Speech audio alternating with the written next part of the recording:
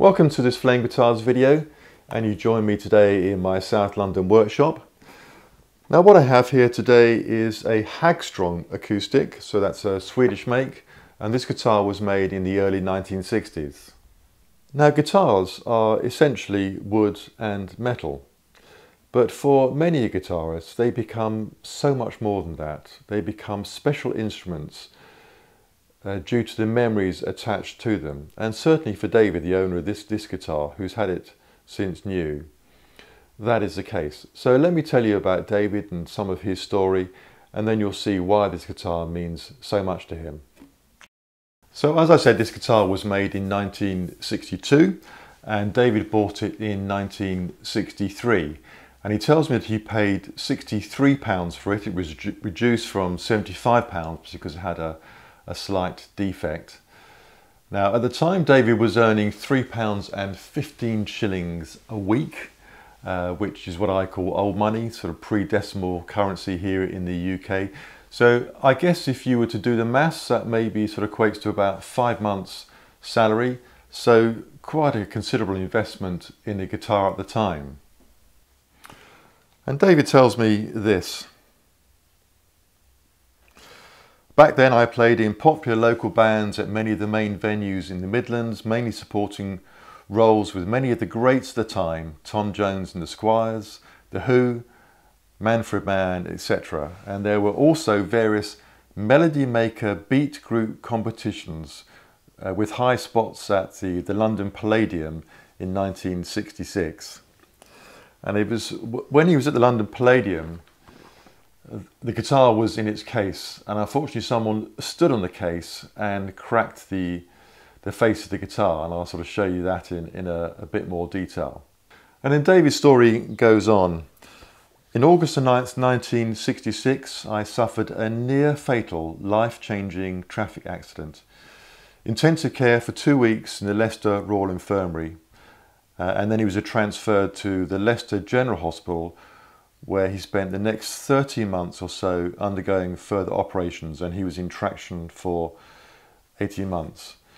And David says, this guitar was my constant companion throughout my, my lengthy recovery, which, which went on for a number of years.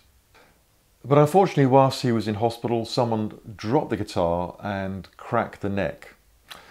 The guitar was repaired, but as you'll see, it was not done very well at all. So I'm sure you can see why this guitar means so much to David. The memories attached to this guitar are both good memories and, and no doubt sort of painful memories as well, but also the guitar that, that was part of his recovery from this terrible road accident he suffered. So it's, it's a real privilege for me to work on this guitar that David has entrusted it to me with all the memories that are attached to it. But let's come in a bit closer and look at this guitar in some more detail. So here is the guitar. And first thing to notice is this guitar was built as a right-handed guitar, but David is a, a left-handed player and he had this converted to a left-handed guitar when he bought the guitar. There is the, the crack along the, the top of the body that, that I, I mentioned. And actually, once I'd had a look inside, I found that, that this crack had been glued and cleated, and it's it's not moving. It's it's very stable. So I'm just going to leave that as it is. Now the the back of the guitar, you know, for a 60 year old guitar, uh, is very good condition.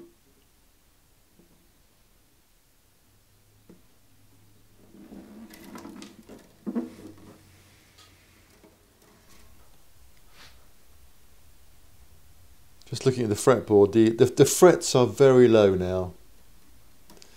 And uh, so I've agreed with David that we would refret this, this guitar.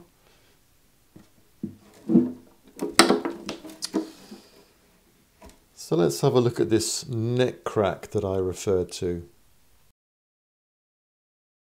The crack on this neck runs from there all the way through to, to there there's another crack line along here and also another crack that runs to there.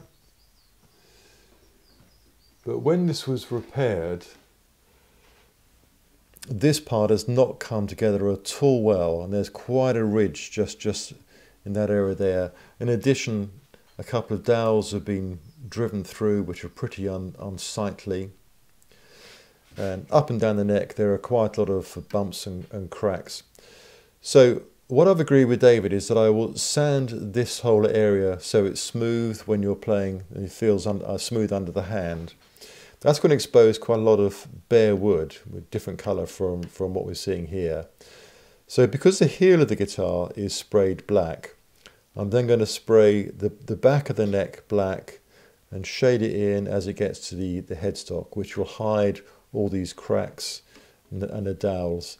And cosmetically, I think will look a, a lot better. So first looking at the refret of this guitar, so what's quite typical for guitars of this era is that the, the frets are installed and then the binding is added once the frets are installed. So instead of running the, the fret wire over the, the top of the binding, and you, you can sort of see it, see it there. Uh, so I'm going to replicate that process, but first of all, obviously what I need to do is remove the binding. Quite a lot of it is, is quite loose anyway, so it should come off relatively easily.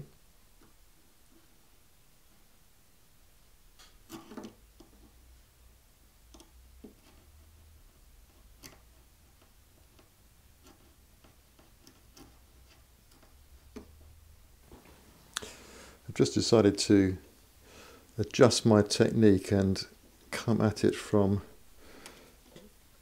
both at the top and the side.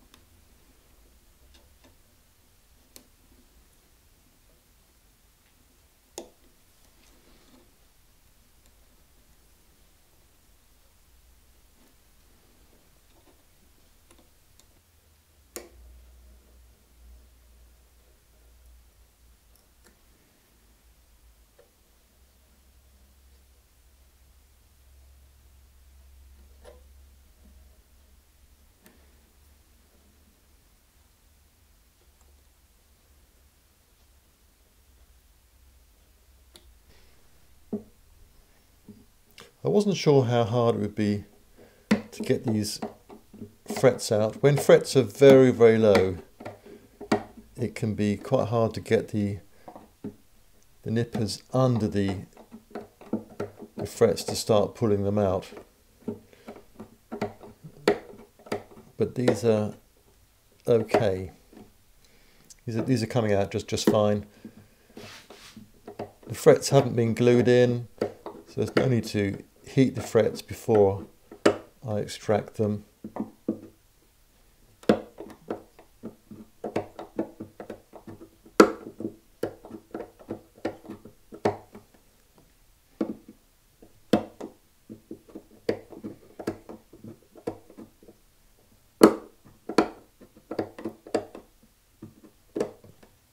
With the frets out, I'm able to do a, a proper assessment of the, the fretboard the good news is that the neck is is very straight. That's good. In terms of the fretboard radius, it's pretty inconsistent. So down this end of the the neck, it appears to be 12. By the time we, by the time we get sort of towards the body end, it's definitely not 12. It's more like sort of 14 or 15. But it's better to be flatter this end of the further up the neck um, and, and a greater radius this end of the neck. So almost what you might call a, a compound radius. Uh, the other factor to consider is there's a lot of ridges and unevenness on the fretboard itself. But that's part of the life and the character of the guitar. So I want to retain that as much as possible rather than just sounding all all perfectly, you know, nice and smooth down down to bare rosewood again. Just just keep some of these ridges, but also just do enough sanding to make for um, a proper refret job so that the, the new frets seat well. So I'm going to sand along the fretboard uh, probably sort of up to about 12th fret, just take out some of the, the humps and particularly the, the humps that I can feel over the, the edges of the, the fret slots just so the, the frets seat properly.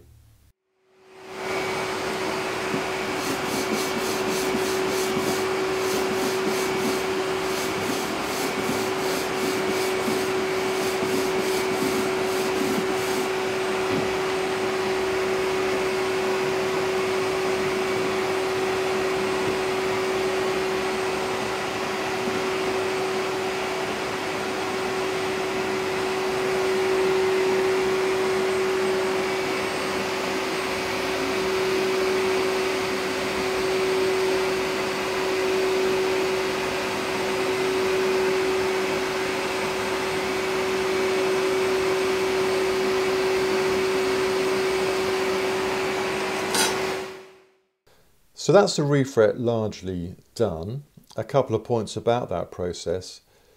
I started just by tapping in these early frets and by the time I got to about the, the fifth fret I just started to notice that the, the frets were just a little too easy to tap in. The, the fret slots were maybe just sort of slightly wider. So therefore I've, I've gone back and I've run some water thin super glue under these frets and then from there onwards I've then glued in the remainder of the frets. The other thing I would say is that I've had to do a lot of fret leveling, sort of particularly in this area here, a lot more than I would hope to do. Um, and that's because I've wanted to keep the, the character and the wear on these frets, which is sort of part of the life and the history and character of, of this guitar. So therefore I haven't done as, as much fretboard preparation as I might ordinarily do. So a bit of a compromise there by not getting this fretboard properly prepared but therefore keeping some of this, this old wear. That said, now these frets have been recrowned, they look uh, just fine but they, they do need some, some really good polishing to take out the scratches left by the, the reprofiling tool. But now I'm ready to glue the bindings back in place.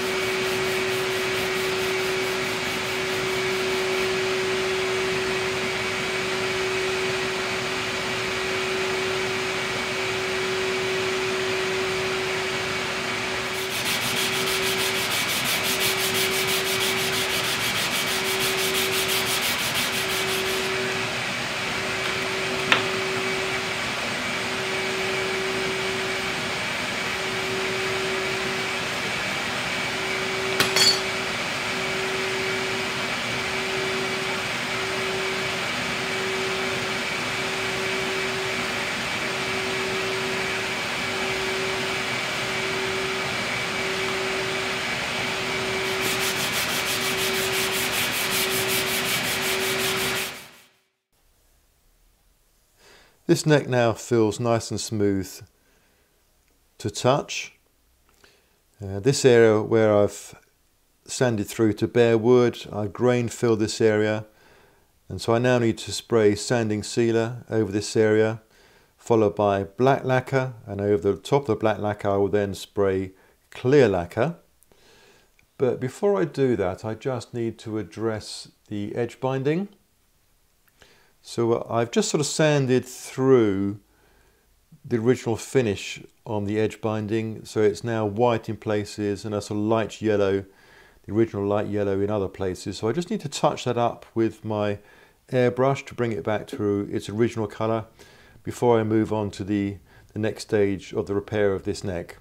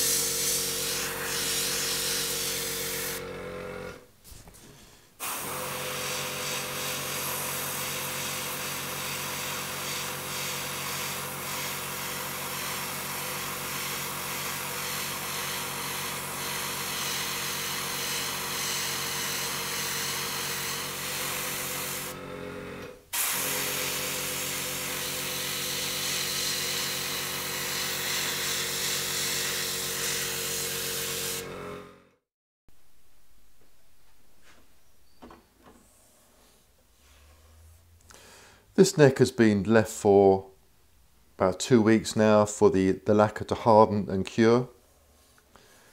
And I'm happy with how this has turned out. The things I was, was looking for particularly was where I had a, a, really quite severe crack that I repaired across here. To what extent has the, the fresh lacquer sort of sunk into that crack? And I can just sort of see it just there, just a tiny amount of, of sinkage. I don't think it's going to get any more than that, but I think that's going to largely disappear as I cut back this surface. I also think that my decision to spray this neck black has, has turned out well. Because it was already black in this area here around the heel, just taking the black further down the neck to hide all these ugly repair marks that were particularly present in this area here, that's, that's worked well. I'm also happy with the, the transition from the black to the brown. I, I, did wonder about taking the black entirely along the back of the headstock, but I think that that transition looks good. So the next thing to do is to cut back this surface. There's a little bit of imperfection and orange peel in the, in the surface. A few, few marks, particularly around this area, but I'm not looking for a perfect surface. I think in a 60 year old guitar, if there's some imperfections that are left in this neck, that's going to look a little more natural than, than a, a sort of perfect, pristine surface.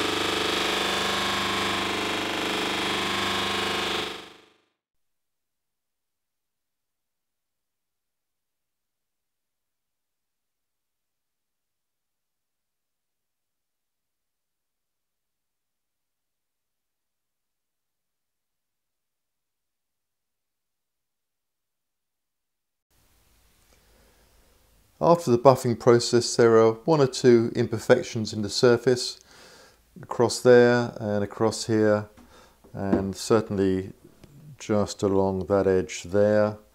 I don't suppose a camera can pick those up. But uh, I'm absolutely happy with, with that. As I say, I wasn't trying to achieve a, a perfect surface. The cutting back process that I went through, I started at quite a high grit so that I didn't take out all these little marks so that it looks a bit more in character with a 60 year old guitar and, and maybe if I was being generous might look like a, the original finish that has been given a really good polish rather than clearly a, a respray job. So now it's time to put the tuners back on and then put a, a new set of strings on the guitar.